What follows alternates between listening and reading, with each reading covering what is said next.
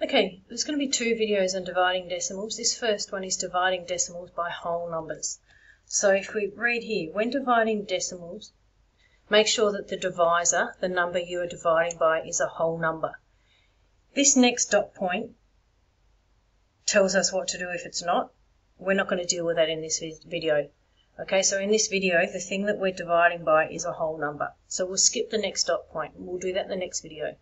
Once it's a whole number, divide the numbers as usual, making sure the decimal point in the answer is directly above the decimal point in the question. So in other words, we say, how many times does 8 go into 54.6?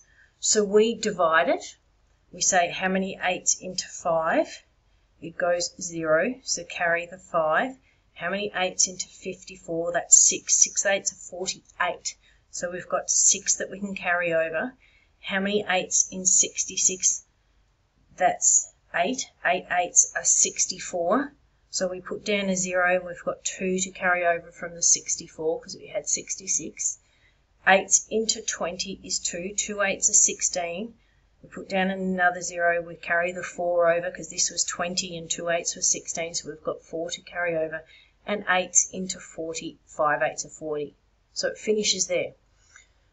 So once the divisor is a whole number, divide the numbers as usual, which we've just done, and then we'll make sure the decimal point in the answer is directly above the decimal point in the question. There's the decimal point in the question, so there's the decimal point in our answer. So the answer is 6.825. But I need to read, it says to two decimal places. This is three decimal places.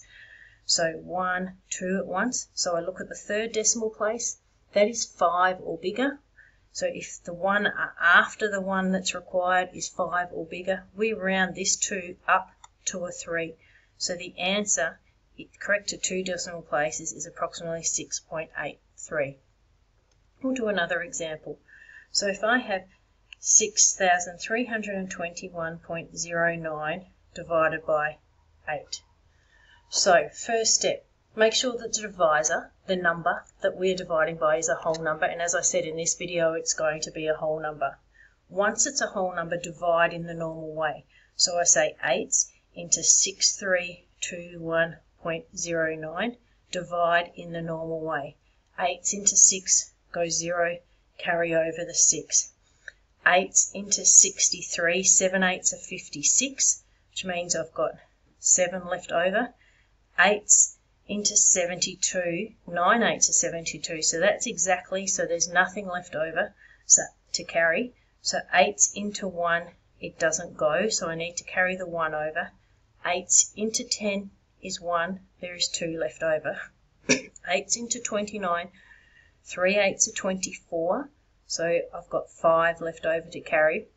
8 into 50, 6 eighths are 48, so put down my 0 and I've got 2 to carry over. 8s into 20, 2 8s are 16, put down my 0, I've got 4 to carry over. 8 into 40 goes exactly 5 times.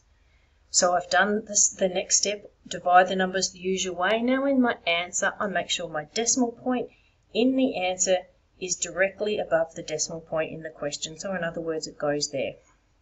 So my answer here, 790.13625. Let's say it also says to do two decimal points. 1, 2. I look at the next number.